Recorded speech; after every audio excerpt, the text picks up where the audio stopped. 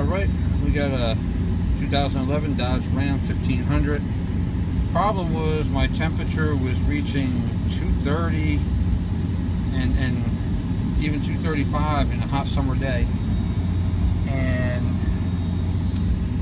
using the AC, which I have on now. Make a long story short, uh, couldn't figure out, I have two fans. I have a clutch fan and I have electric fans. And the electric fans weren't working. Finds out this little plastic piece that Dodge gives you is my original sending unit. The truck has 126,000 miles on it, but we actually put a brand new 2017 crate motor into, this car. Crate motor right from the dealership itself, brand spanking new. This here, so look at dropped. Guy here.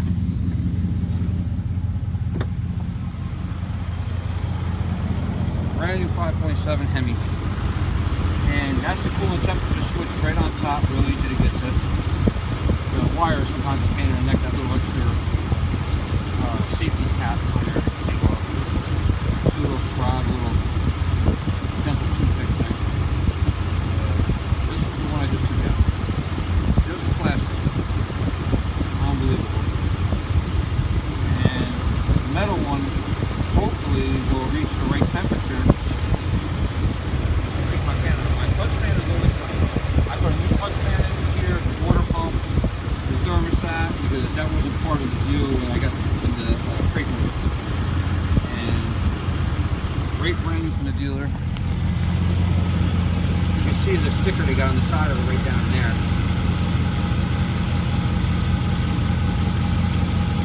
Mopar 2017 engine. The guy that brought me and delivered the engine to the shop, he couldn't even believe it was a brand new one. He said, you're like the first one to get it from our dealership. No leaks on it, that's a good sign. We're gonna let it run and see what happens. Maybe I'll make a part two of this, but this should solve the problem. These plastic ones just don't send the voltage the way it should, I guess. It's plastic, you know what I'm saying? But we're go back in here and see what we got.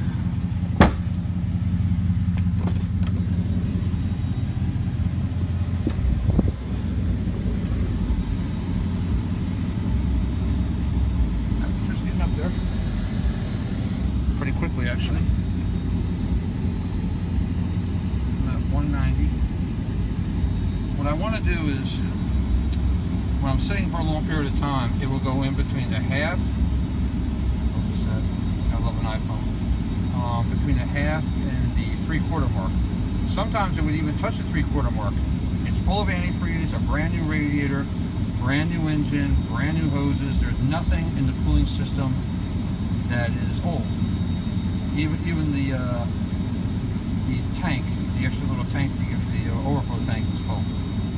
Um, we're just going to monitor this and uh, we'll make a part two later on. But it's always good to have a computer that you can do live diagnostic on. So without live diagnostic stuff, without doing live data, I mean, it's, it's hard to monitor it. You can tell the temperature by here, but I can tell the exact temperature by this computer, according to the temperature sending unit. Oh, it dropped down actually. I think it did. Anyway, we'll be back with part two later.